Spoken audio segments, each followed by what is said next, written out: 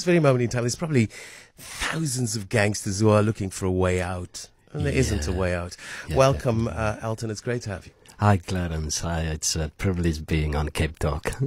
is, is, it, is it about choices, like I've summed it up? And we're talking about Showmax's spinners. Is it about choices? Yeah, I, I, I think uh, uh, on a human factor, it could be about choices, but uh, not of, uh, a lot of them don't really have those choices. Some of them uh, just get grow, uh, born into it, and uh, that's pretty much what their lives are all about. And then they just get stuck in this thing, and yeah. it becomes part of their identity. And so once they claim the identity, then it's like it's pretty much it's done. Yeah, yeah. yeah. You you play the role of, of Damien, a, a, a gentle gangster. uh, I've never encountered well gang leader. Yeah, yeah. I've encountered some gentle gangsters with a conscience. It was a shock for but me too. I don't encounter gang leaders with a conscience. They are psychopaths, sociopaths. Yeah, supposed how, to be. How, how, how can you be both?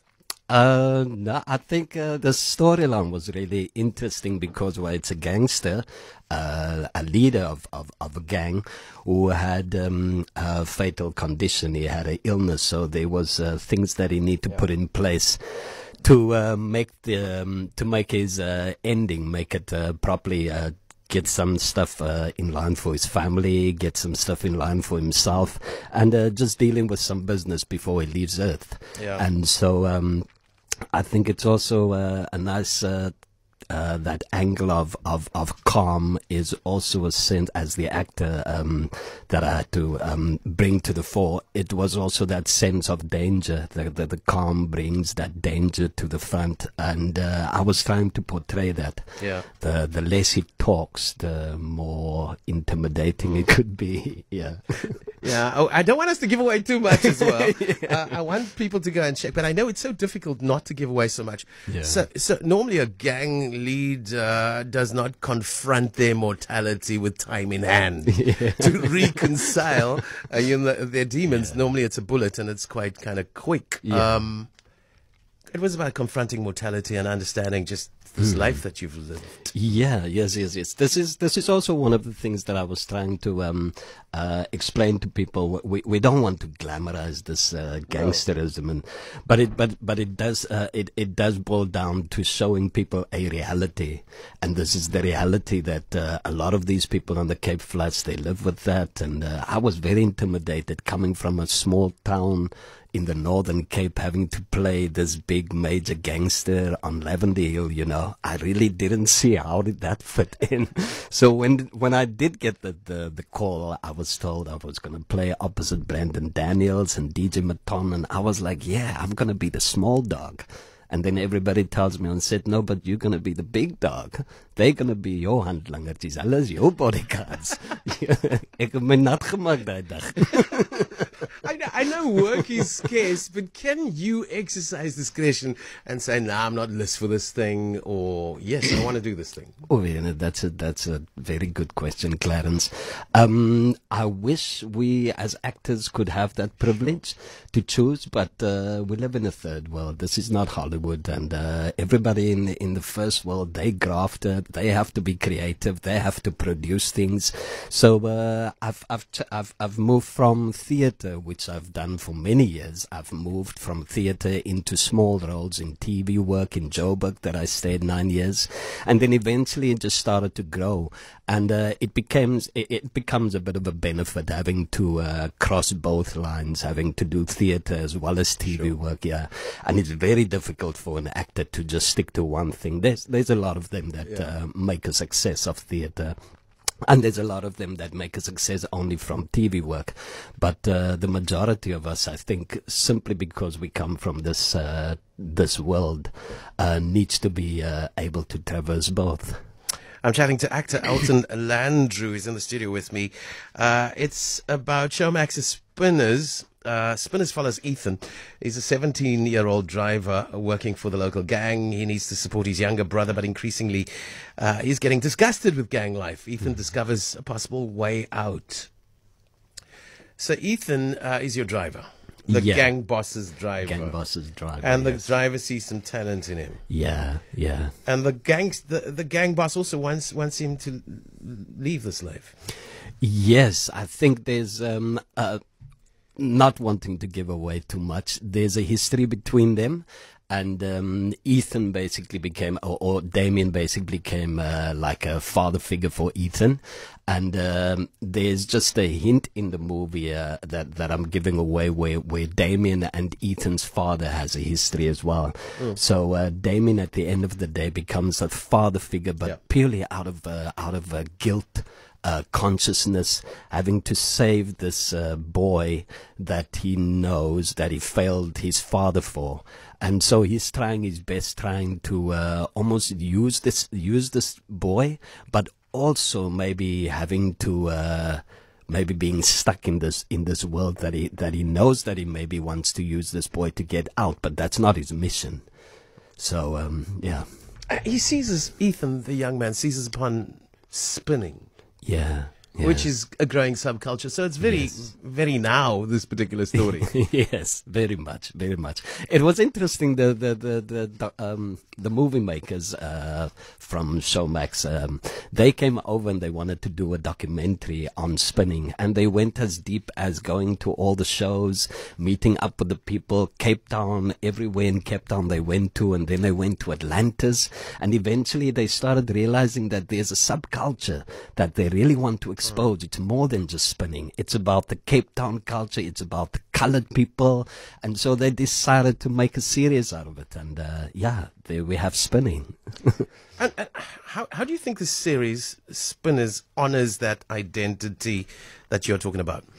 Um, I think it's a, I think it's a, a, a major platform putting the colored um, colored history and the colored uh, communities on the on the front line. I mean, uh, exposing the the, the the the flats, exposing the Cape Town life, exposing the colored life and the colored culture.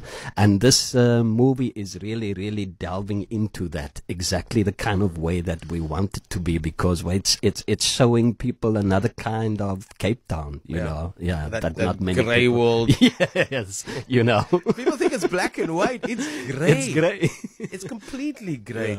Uh, and we got a saying for that. Jy verkeerd nie, maar reg is die nie. it's it's a very difficult grey and it's not easy to trap suchis through it. It's difficult. But the script writing is, is raw and real, and so too the locations. There's an authenticity about it. Yes, yes, very much. We were given uh, uh, the range just to uh, alter the scripts as we went along. Every day when we come in, we used to discuss the script and the wording and ask the director, Jacob Bauer, you know, uh, what can we change here? Can we say this? And they gave us a lot of freedom to be able to do that. You, you don't really get that on many movies. Uh, but there did come a point, especially in the heated moments when the show was do, uh, done and we're getting to like the hijack scenes and the action scenes and all of that, where we were told that we have to decide how many P words we're going to say today, how many N words, your N, your P, you know. So they're going to have to a dish nice it out. person. Yes, you're a nice person. they started dishing it out. Okay, today it's your day for P and tomorrow it's that guy's day for N. Ah, so the P's and was Q's it, was it flying. Yeah. I mean, how, yeah. how can you tell the story without that P's and Q's? No, how can you? Well, uh, message in Elton, and I got to share it with you. Elton is one of the most underrated actors, but he's one of the best actors in South Africa. Nobody plays a better gangster than him. Uh, I've been a fan since he played Llewellyn in Forgiveness. He's truly a legendary South African actor. Uh, they must please revive him on Arendsvlei uh, to make Bumpy Witbeen. I don't understand some of that. So, what what is that message actually saying? Who's Bumpy that you must make Witbeen? You must kill Bumpy, clearly. yeah, no, no. Everybody talks. Everybody asks me when I'm going back to Arendsvlei and so on. But um, yeah, and and having to go sort out these people because Jay's die groot kop en Jay's die ou alles kan regkry daar. So is net David vir hulle gaan uitsort. But uh, the contract is done, man. you know. So once the contract is done, it's like you, you, you. That's that's you. You're cutting chains with that and hoping that maybe, maybe something else is gonna come up. And so uh, I was really, really uh, happy and really fortunate to be able to uh, be part of the Spinners. You know. I think you know that message in. Uh, it's unsigned, so I don't know who it's from, but uh, I talks to you, and I think your history. Um, let's talk about Chelsea Thomas. Uh, let's talk about Brendon Daniels. Let's talk about Cantona James. They're all absolutely superb in this film.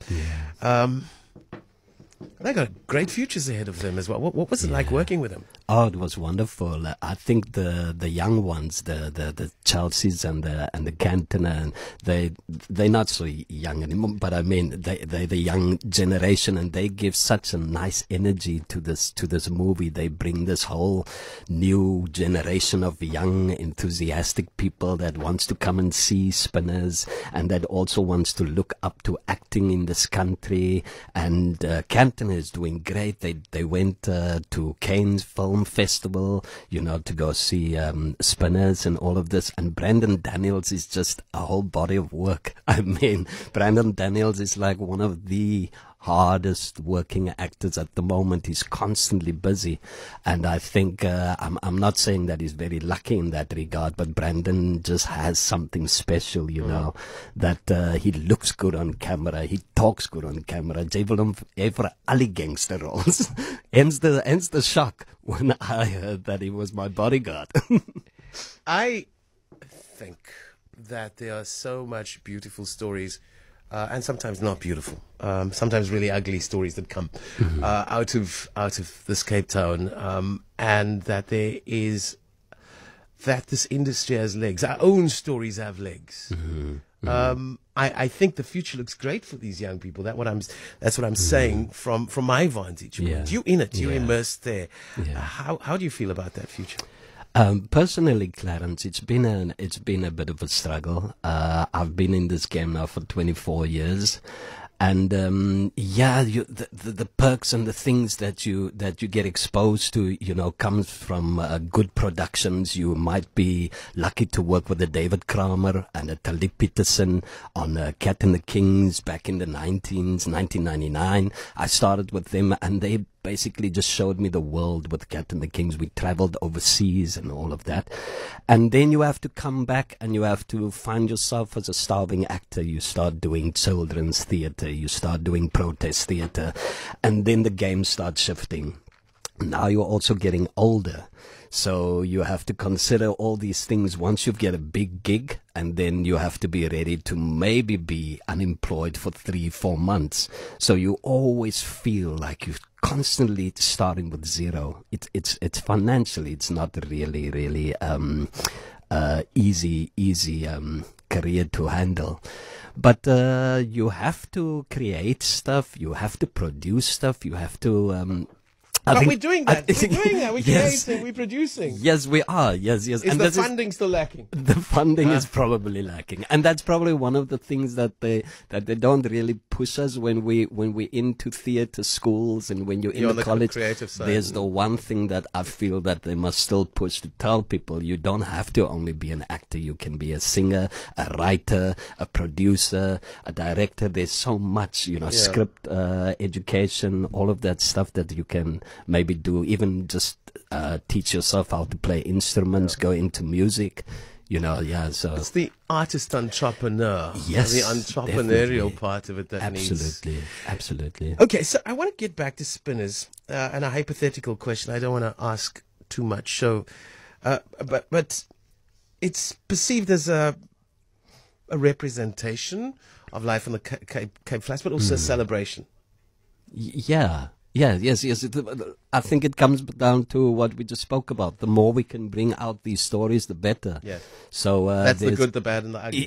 yes, yeah, and there's a lot of stuff that still need to be told. You know, um, we we as colored people are, are, are usually so so so um, narrowed down in terms of our colored history, starting in Cape Town and and ending in Cape Town. Uh, but but there's also the Namaqualand colors. There's also the colors from the Northern Cape and the colors Eastern Cape and Joburg and all of this. So there's so many stories that still haven't. And the colors in the Indian Ocean Islands, the colors in South America, the Yeah. colors in North America. Yeah, yeah. It's that Creole tea. And, Absolutely, And, and, yeah. and there's always a liquor masala, mixed masala. yes. stuff that's happening. Yeah. There's beautiful, beautiful Yeah. stories. Um, I want to know ultimately because I suggested that some gang members have serious second thoughts about mm-hmm. where they are mm-hmm. at. They have a conscience. They seek to escape it. And maybe, you know, the choices are not clear to them. And I don't want you to give too much away. Mm-hmm. But does Ethan escape? Um, I think so. I think Ethan finds a new passion. Ethan finds a new way out.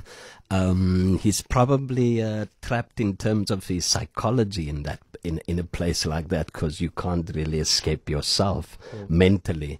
But I think just the mere fact that he found a new hope in the spinning, that's pretty much. Uh, I think that's the goal that he wanted to, uh, you know, he wanted to achieve. And uh, once he got hold of that, that was the one thing that took him out of this gangster uh, world. And uh, maybe also the fact that Damien, you know, Damien uh, leaves. Uh, it's it's basically out of his world, Yeah. He's, not giving away too he's much. owned, he's trapped. And, Yeah. and it's owned. It's literally a case of ownership when you when you're joining a gang, you're you're owned. Yeah, yeah. You buy your way out, you're gonna buy your way out. It's only Yeah, you can't. Uh, yeah. It's a it's a tough life, life out there. Just final words. Why why should we be watching Spinners? I think uh, Spinners uh, has a young crowd. It's got an, uh, a mature crowd as well, and uh, there's a lot of uh, colored representation happening in this uh, play, in in this uh, movie, the series, and uh, definitely the spinning culture, which is uh, it has been going underground for uh, quite a few years now. It's only now that it's getting, uh, you know, um, limelight Yeah. exposure but it's been on for some time and, and it's so erg, uh, echt, uh, Yeah.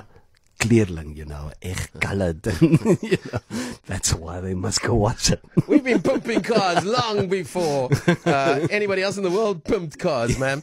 Uh, and of course, this is just another manifestation of it.